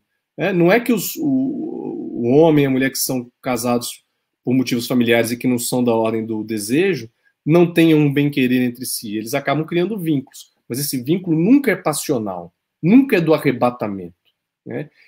Ele teve esse sentimento, mas agora que ele foi traído por lésbia, ele não diz exatamente como, se é com essas chupadas pelas, pelas esquinas de Roma, ele, o bem-querer acabou, mas o amor não. O amor aumentou, o desejo amoroso aumentou. Ou seja, a ofensa, para quem está absolutamente apaixonado, aumenta a paixão, mas aumenta junto com o ódio. O amor e o ódio crescem, enquanto aquele bem-querer estável diminui. Então ele cria uma potência ambígua que a gente vai ver perfeitamente realizada no poema de duas linhas. A Bia pergunta: essa lírica romana chegou nos gregos? Houve alguma reação grega a esse movimento? Uh, ela já é um diálogo com a poesia grega, né? Com a poesia helenística e com a poesia que vem depois da helenística. Só que a gente não tem tantos poetas fortes no mundo grego contemporâneos aos poetas romanos. Uh, a gente vai ver outros poetas vão escrever epigramas uh, contemporâneos. Filodemo de Gádara é mais ou menos da mesma época, vai escrever poesia amorosa em grego. Uh, e a gente tem alguns poetas que estão na antologia palatina escrevendo poesia amorosa com esse nível de arrebatamento. Uh, e alguns deles a gente vê que são poetas romanos escrevendo em grego, e outros são poetas que escrevem em grego, mas sabem latim e, portanto, também são influenciados pela literatura romana. Mas a gente não vai ter tantos poetas com tanto impacto quanto Catulo. Então não tem uma resposta. Talvez eu esteja exagerando no modo de responder, mas eu poderia dizer não há uma resposta à altura. Uh, talvez seja um modo de dizer. Mas há resposta, sim. Uh, Catulo influencia também poesia de língua grega. Uh, vamos então ao 81, que era esse que eu queria ler. Eu não acredito que eu não botei 81. Não, 85, desculpa, eu falei que era 81. Então vejam, nossa, nosso modelo de leitura que é apressado, em geral a gente passa pelo poema 85. Se eu, eu mandei vocês lerem, eu não sei se vocês leram todos os poemas de Catulo para hoje. Mas quem leu, eu diria, pouquíssimo de vocês, se não já conhece o poema antes, vai ter reparado que o poema 85 é uma das maiores pérolas da literatura de todos os tempos. Né? Só tem duas linhas. Como pode ser tão bom? É, eu vou tentar ler com vocês aqui para mostrar isso. Né? Odeio e amo. Talvez queira saber como. Não sei. Só sei que sinto e crucifico-me. Tá aí. É um epigrama, curtíssimo. Eu diria para vocês: tentem fazer um poema complexo sobre o anseio de amar e odiar alguém em apenas duas linhas. E eu diria para vocês o seguinte: não vale usar nenhum adjetivo. E vou dizer mais: não vale usar nenhum substantivo. O poema é Odeio e amo, tá dado o mote. Talvez queira saber como. Então, entrou um eu, eu, dois verbos, eu odeio, eu amo. Talvez queira saber, dois verbos para o outro. Você talvez queira saber como. Não sei. Segunda linha já é a resposta, odeio e amo. Mas como isso acontece? Mais um verbo, não sei. Nescio, que é, uma, é um verbo só em latim. É, desconheço, poderia ser um tipo de, de, de tradução. Só sei que sinto e crucifico-me. Só verbos. O que eu sei é que eu sinto, sentio, et excrucior. Eu me crucifico. Sed fieri sentio et excrucior em latim. Vou tentar colocar isso em. Uh, vou fazer o seguinte. Eu vou escrever o poema aqui do lado para vocês.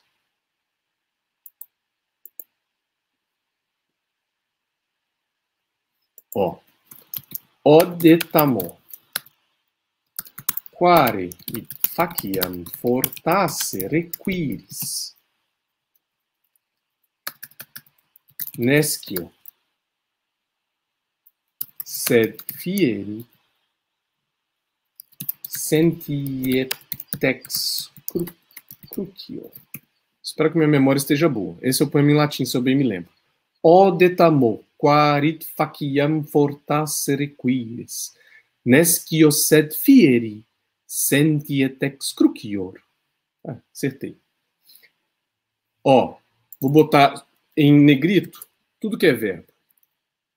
Verbo, verbo, verbo, verbo, verbo, verbo, verbo, verbo. Um, dois, três, quatro, cinco, seis, sete, oito verbos em duas linhas. E ainda tem um detalhe. Faciam e fieri são, podem ser lidos como o mesmo verbo na forma ativa e na forma passiva. Excrucior está no que a gente chama de forma média, que a aparência do verbo é passivo, mas o sentido pode ser como fazer algo sobre si mesmo, reflexivo. Então o verbo começa com duas formas ativas: eu odeio e eu amo. Mas vejam, são afetos. Para a antiguidade, os afetos não são ativos, eles são paixões, são, portanto, passividades. Você é tomado do desejo de amor e você é tomado do desejo de ódio. Mas o verbo tem forma ativa. Então, dois verbos na forma ativa: eu odeio e eu amo. Quare é o porquê. Porque isso, id, facem, eu faço, Fortasse, talvez, você pergunte, requires. Então vejam, por que, que eu faço isso? A pergunta, por que eu faço, seria ativa. Por que, que eu faço isso? Eu faço. Por que, que eu decido amar e odiar? Essa seria a pergunta. Por que, que você faz isso? A resposta é nescio, uma negativa. Eu não sei. Skio é um verbo ativo, mas ele nega a atividade. O que eu tenho, e aí vem três verbos é sentio, que é o verbo sentir, mas veja, sentir, por mais que o verbo seja ativo, qualquer um percebe que ele é passivo. Você sentir é receber alguma coisa. Sinto, fiere, que é a forma passiva do fazer, que seria ser feito ou fazer-se. Muitas vezes traduz por acontecer. Eu sinto acontecer. Eu sinto que isso é feito. Aquela Deus falou, faça-se a luz e a luz se fez. É essa, é essa forma aí fiat lux et lux facta est, em latim. Né? Et ex crucio, e me ponho numa cruz, me crucifico. Né? Ou seja, me angustio. Só que ele escolhe um verbo violentíssimo. A gente tem que lembrar que os romanos de fato crucificavam pessoas. Vocês têm ideia do que é crucificar pessoas? É botar um indivíduo pendurado em dois pedaços de pau, com buraco cravado na mão e na perna, geralmente machucado, para ser devorado semi-vivo pelos pássaros, pelos urubus, enquanto essa parte aqui do corpo está se estendendo e se rasgando com o peso do corpo. É a coisa mais violenta e dolorosa que os romanos conseguiram inventar. Né? Eles não inventaram nada pior do que a cruz. É, e da, dos modos de, de morte, um dos que se compara ou supera a, a cruz é só o empalamento, o lento empalamento de uma pessoa viva. Uh, uh, então é, é, o horror, e é, é, como ele descreve. Eu odeio e eu amo. Por que, que eu faço? Eu não faço, é feito. Eu só sinto que é feito, e o resultado disso é uma crucificação simbólica do, do próprio corpo daquele que deseja. Percebem agora, quando a gente volta para esse poema, como ele pega um lugar comum dos afetos opostos, o amor e o ódio, o lugar comum de que o amor é uma doença e, portanto, é uma paixão, uma passividade, e ele constrói a disposição disso sem eliminar as contradições, mas apresentando os seus efeitos a partir de um jogo, inclusive, de verbos ativos e passivos, sem usar nenhum adjetivo, sem usar nenhum substantivo, usando oito verbos, um no infinitivo, o resto conjugado, é, em duas linhas. É um trabalho genial de minúcia literária, de técnica literária. É? Então é disso que os romanos estão falando quando eles falam de poesia. É? Pegar lugares comuns e tentar desenvolver de um tal modo que é o modo que é a sacada, não o assunto. Não é uma abordagem absolutamente nova de nada, mas é pegar algo que parece ter sido dito de todos os modos e achar um novo jeito de dizer dentro das regras, mas dizer como ninguém conseguiu dizer antes. E isso Catulo, com essa linguagem impactante, passional, mas ao mesmo tempo cerebral, Catulo, então é importante lembrar, Catulo é um poeta que fala do amor, mas ele é tão bom falando do amor que o efeito disso é domínio técnico. Ele escreve de modo a nos convencer de que ele está sendo passional. Não é alguém que escreve num arrobo afetivo. É alguém que dominou tanto a técnica que usa a sinceridade como artifício de linguagem. Por isso a gente fica impactado com a poesia de Catulo. É, é raro alguém moderno que não se identifica com Catulo, né? porque é de arrebatamento que parece romântico, mas é feito ao mesmo tempo com um cuidado literário que é, é talvez exemplar do que a gente imagina como clássico. Né? Bom, eu gostaria muito que vocês tentassem ler o poema 68, que é a origem da elegia. Eu não vou ter tempo de ler com vocês. É um poema bastante complexo, merecia uma aula só para ele. Eu queria ler com vocês a... o Marcial. Cadê? Então vamos lá. Para vocês entenderem, então, quando a gente chega em Marcial,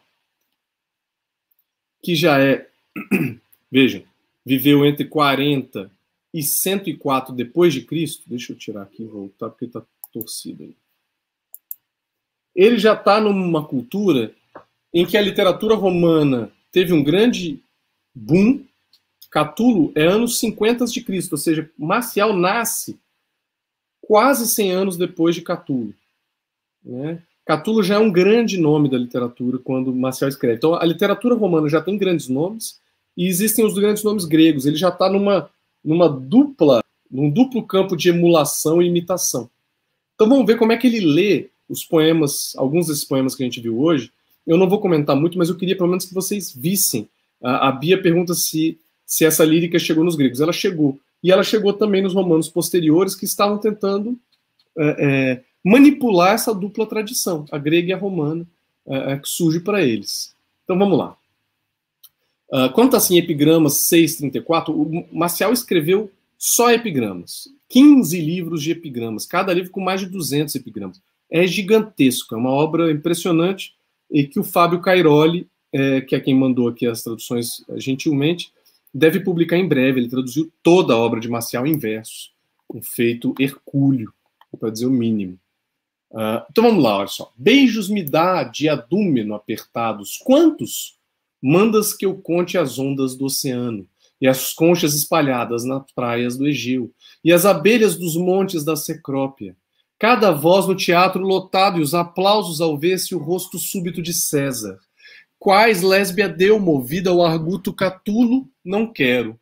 Poucos quer quem faz a conta. Então veja, ele quer competir com Catulo dentro do jogo do Catulo.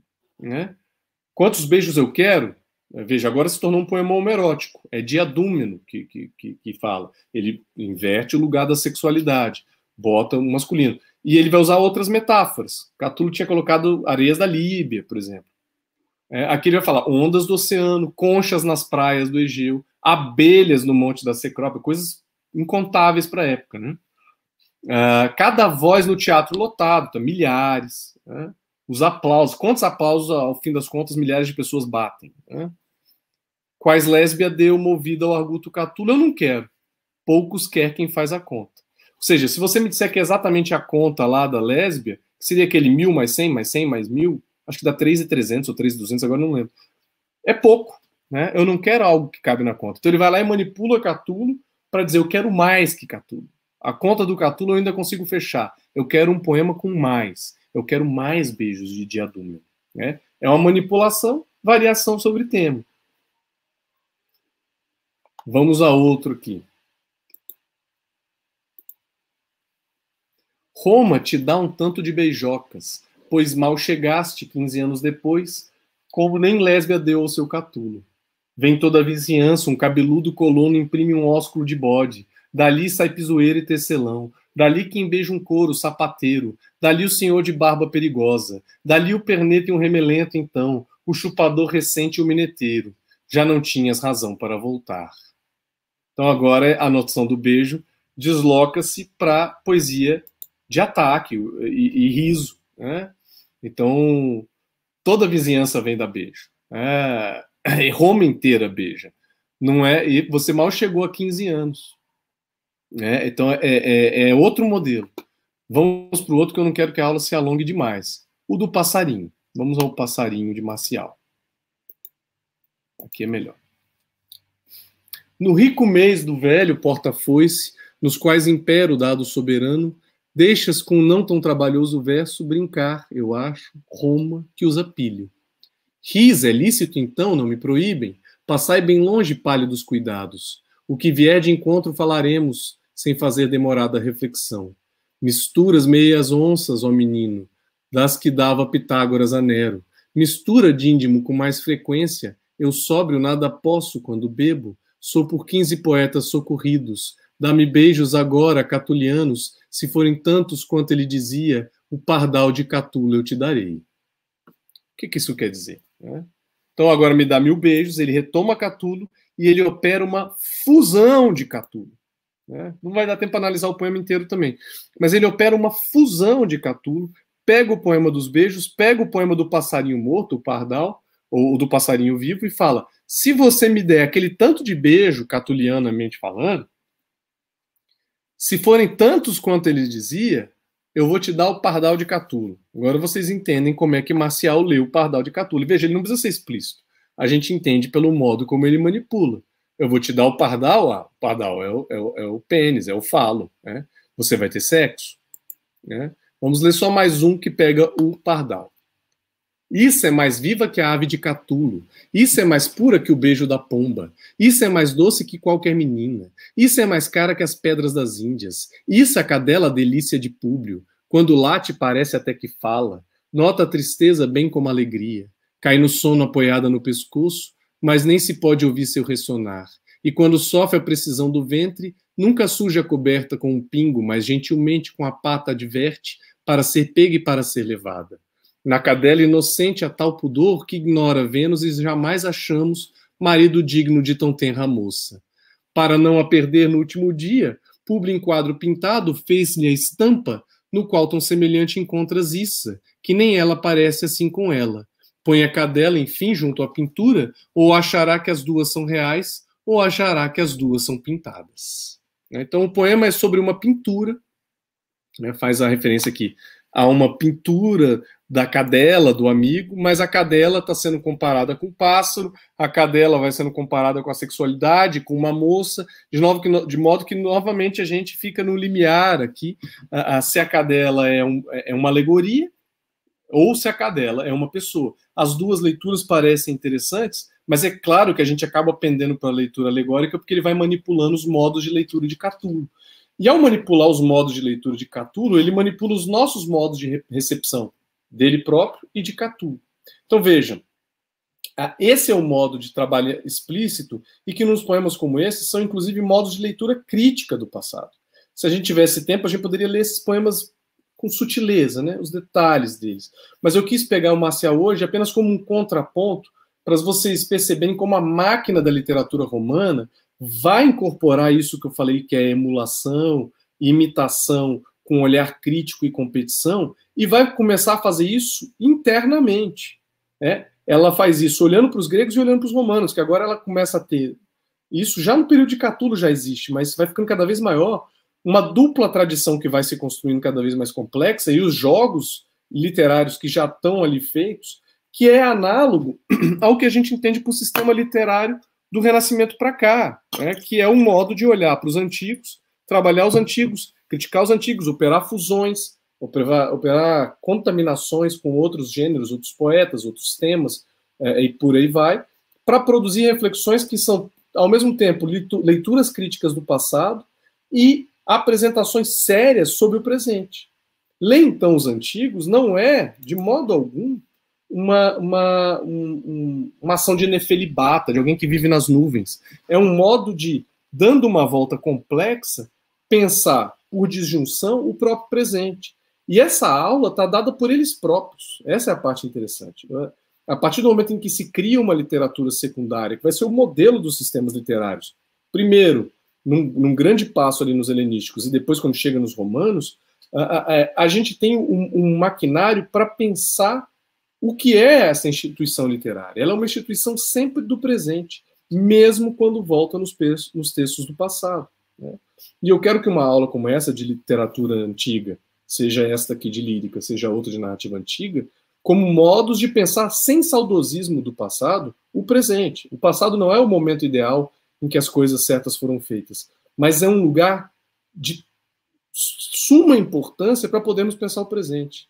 Porque esses são os lugares para pensar o presente, ou o passado, ou as distâncias do, do próprio presente, das várias uh, modos de vida outros que, que se produzem e que nos dão a chance de entreolhar a nossa cultura e fazermos proposição. A literatura não é um lugar de, de mero jogo literário, embora ela tenha muito jogo, mas ela é lugar em que esse jogo se torna algo sério porque ela produz mundos. É o que a gente está vendo aqui com essas aulas de Catu, espero. Né? Abro aqui agora para perguntas, porque já deu um tempo mais do que razoável de aula é, para responder. Se não, a gente encerra por aqui e continuamos com os romanos na semana que vem.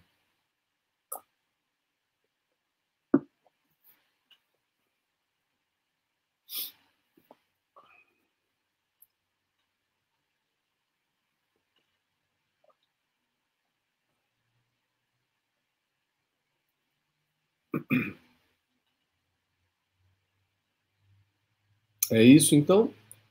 Gente, obrigado pela, pela sincronia neste dia gelado e chuvoso em Curitiba, que anuncia a semana mais fria do ano. É uma ótima semana para vocês. Quem está aqui em Curitiba ou mais para o sul, peguem os seus agasalhos, suas cobertas, suas mantas, suas blusas, se aqueçam aí e até semana que vem a gente segue com a poesia romana. Vamos passar pelos elegíacos. Vamos seguir essa linha do amor. Abraço, boa semana.